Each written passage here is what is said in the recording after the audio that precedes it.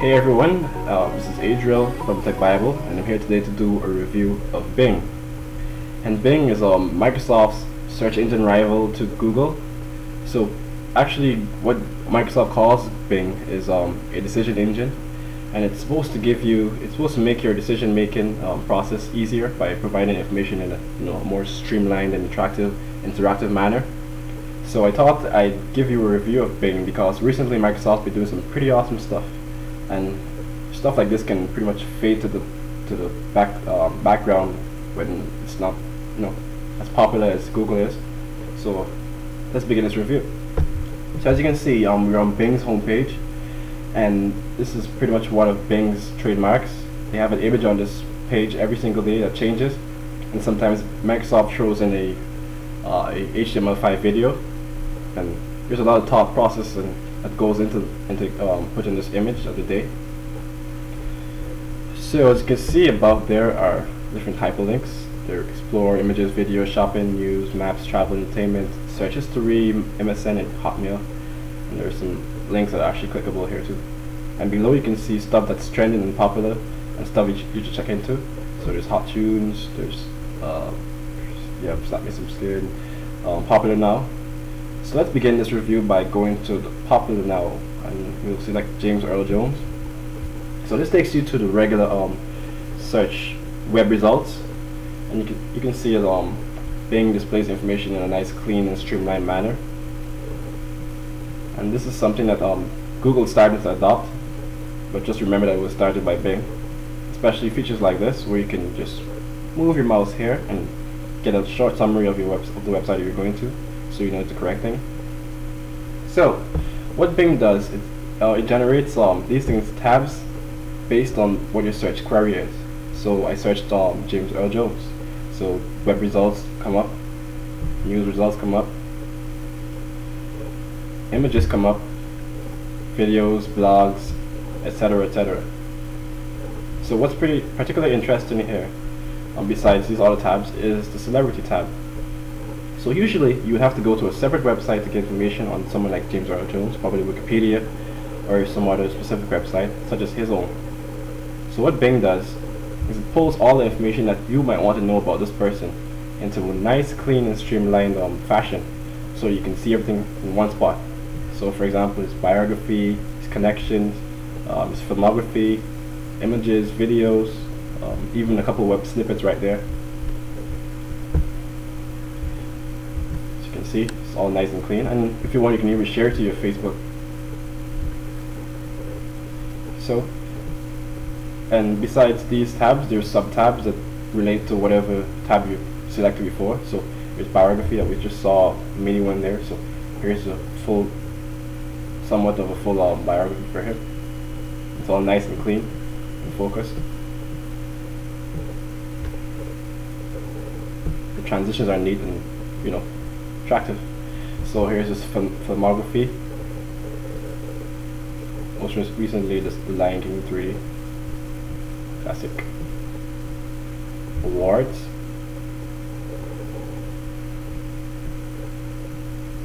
And last but not least, connections.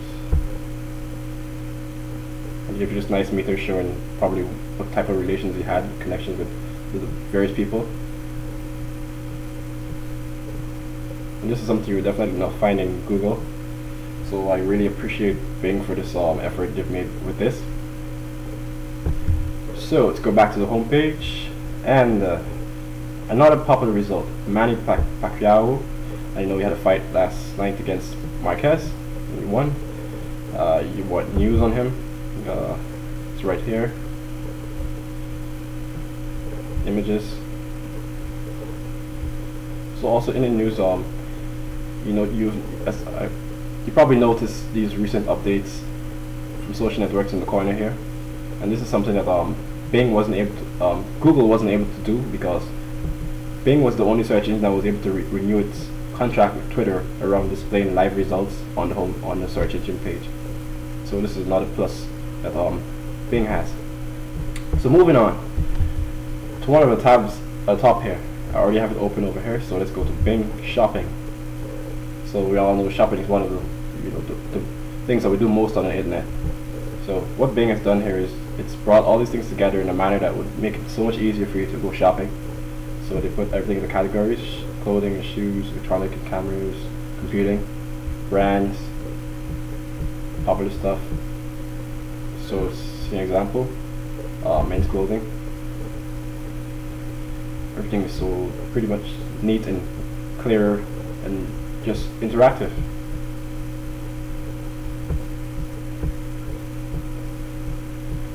and then there's the tabs based based on, on whatever context you're searching for. So it generated these tabs. So there's deals.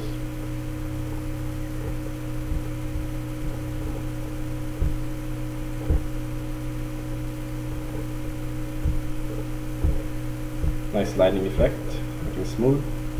And there's weekly ads. This probably takes you to the website, yeah. Let's go back. And then there's guides guides for the various seasons of shopping. So, you know, fall season, uh, Christmas is soon approaching. And then there are stores where they get these deals and things from, and they give you uh, whether these stores put um, free shipping or not. So it's all nice and um, laid out there for you to go straight to what you want to do. Let's go back to the home page. And next, we're going to travel. And travel is another place where uh, Bing hits home runs. So as you can see, they give you the ability to choose um, cars, cruises, vacations, etc., etc.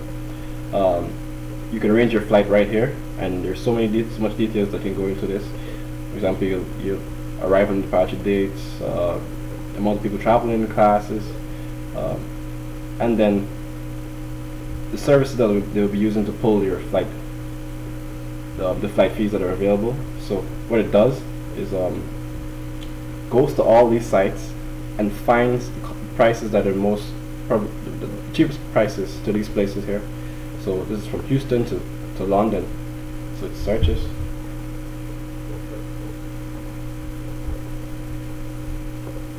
As you can see, 729 is the cheapest price to England from Houston, that's via Lufthansa. And you can easily open this box to see whatever details um, are also connected with this. And then you just select it to go to the website and um, lock down your your ticket and everything else. And you have the ability to change the times to then most likely the, the prices will change as well. And select what aircraft carriers you'll be using whether it's non-stop and whatnot so it's all nice and laid out here and also what Bing has is this ability to help you make a decision on buying a ticket. It will tell you whether it's wise for you to buy the, the ticket now or you should wait and the fares will drop. So it's called a price predictor. And if you have no idea where you want to go, you just want to you know, find random places, place that might be interesting, I guess. They have this feature called a visual search. And this allows you this gives you a nice clean overlay that allows you to select places that are popular for vacationing. So for example, Philippines. All transitions are so smooth. They give you a nice overview, a summary of um, what, what the Philippines is like, what it's known for, uh, romantic adventure family, etc., etc. It even gives you the weather of it right now, um, maps, the top definition, the, the, um, destinations, videos, attractions, and flights. So you can, as you can see there, even the web snippets are here. Best time to visit, December to March. And then you can easily switch to another destination here. If you're not too sure about the Philippines, how about Venice? Likewise, it gives you the same uh, information, including hotels, So yes, Bing also allows you to book hotels from right here in this same interface. So Seattle, search.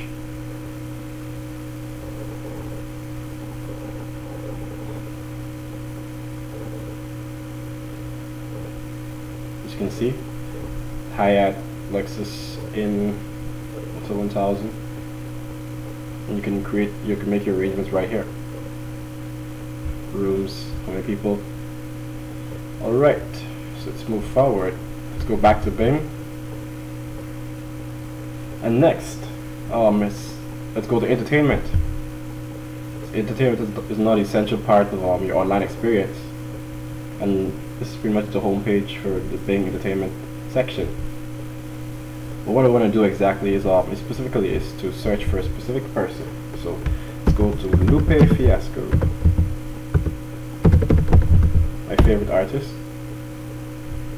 So as usual, here's the, um, the web interface, the web results. And Bing has a feature where videos autoplay when you move your um, your cursor. So that aside, let's go to what's really uh, what really hits home here. And this is a feature that really blew me away when I first encountered it. They give you a nice, clean, interactive overview of a fiasco. And this is something you won't find on Google. So you have a short bio, you can share it on Facebook, you have his recent songs, recent albums, you can easily buy it from right here. So as you scroll, you see his recent albums, recent videos, what type of music is um, usually related to, and who is influenced by, and who has he influenced. And then his upcoming events, and latest social networking activities and other news and also its usual web snippet and images. So again there's sub um, cat sub menus and you get this full biography here or somewhat of a full biography then you get songs and a full on list and what's nice is that you can play them from right here too so just click and it brings up a mini type mini Zune player right here and the, the, features that you've come to love from, from Zune.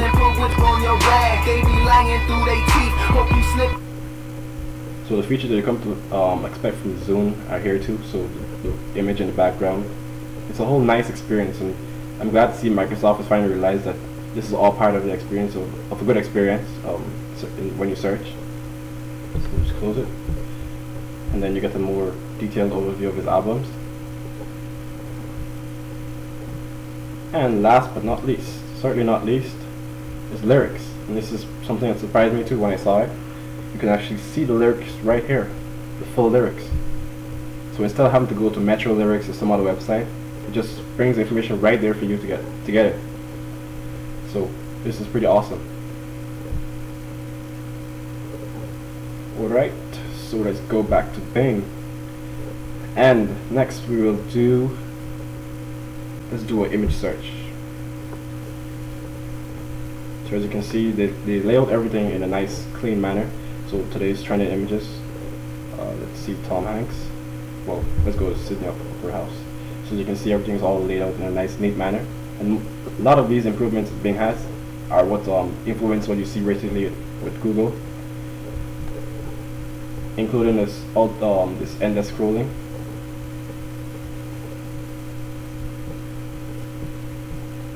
and they reduced different categorizations at the top there. Okay, what shall we do next? How about news? So news is um, pretty much likewise um, as you've seen everywhere else, everything's all nice and neat and streamlined. Um, real-time results, real-time news. You have temperatures, you have different categorizations of um, news, science, tech, etc., etc. Different quotes.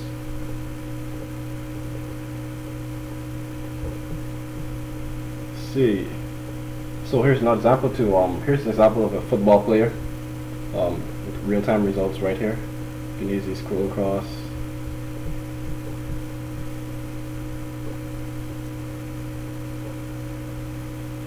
And if you're searching for a new car, for example, um, what Bing also does is make this process easier by putting everything in, on, again, in a nice, clean and um, interactive manner so you can compare cars easily.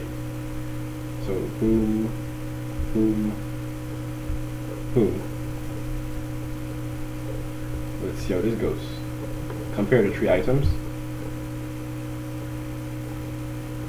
So this makes the process of buying a car much easier.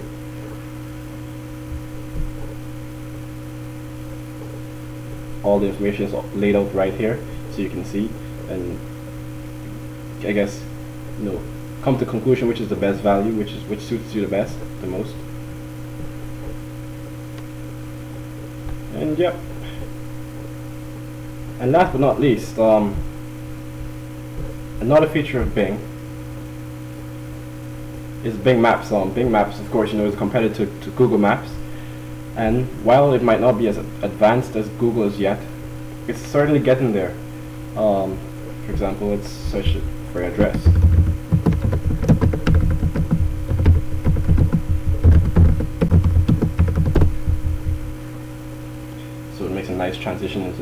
Map loading.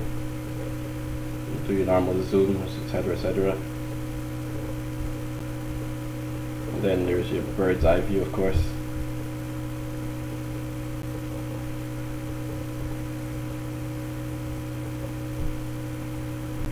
you can do your panning and rotation, etc., etc. And what um, Bing also has is the ability to share these directions to a social network or to somewhat email contact. So you can just go boom, Facebook it. And there you can post to your wall so someone can easily just click on it and go straight to the directions. So that's a pretty neat um, thing that Google doesn't have. And also there's map apps. So there are a bunch of apps that are associated with mapping. For example, where the, the gas stations are, um, different businesses are, random locations, etc., etc., transit. So these things are forever building.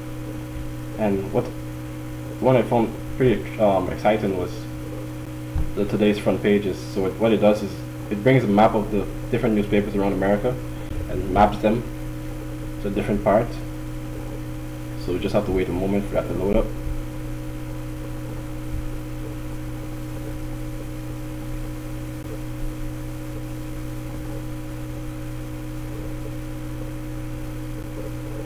See there, you just move to the different points and you see the newspaper there and what news is going to the headline. So all this adds to a wonderful experience when you use Bing.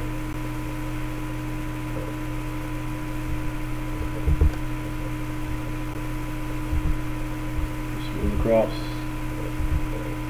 See what the news is like in Boston. This is Brockton, as you can see. And while we're at this, um, here's another feature that Bing has that makes um, your web experience even better. Um, they've they've taken the liberty to aggregate um, websites that they think might be pop might be pretty um, interesting to you. So there are different categories again, education, urban planning, family, finance, etc. And so I'll choose technology since that's attractive to me. So must read tech blogs. And they also give the ability to add to um for you to suggest to them what the sites you, you think you should have on this list. So for example, um, I don't see The Verge on this, so I suggested to them that they put The Verge, since Verge is pretty new and getting popular every day. So just go suggest whatever tech um, blogs you know about.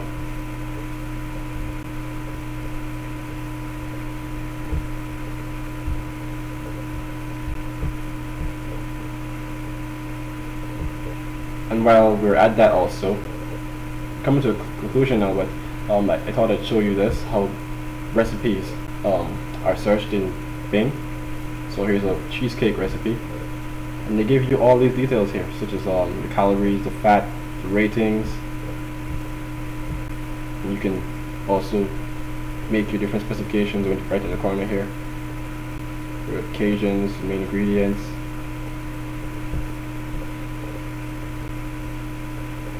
Let's see a three star. Let's see how this goes. Alright, this takes you to a website.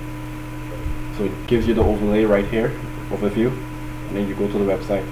So this is pretty helpful, so you can know what you're looking for before you go onto the website. So this is all things about aggregating information so you can make an informed decision um, rather than going to random links and taking a whole bunch of time to do stuff. It makes um, saves much time using Bing to do stuff like that, like what I've shown you. So, um, of course, it might not be on the same level as Google in terms of search results as yet, but they're getting there. They're pretty much getting there. I've I've actually switched to use Bing as my main search engine. Only a few times I go to use Google to do specific stuff. But um, Bing has not let me down as yet, so I'll keep on using it. And what's interesting and what's great about Bing too is that they actually pay you to use um, they actually give you a reward for using Bing. So whatever searches you do, you get points, and the points you can redeem, you can turn into redeem prizes in this um, central location here. So just type in your password for security measures.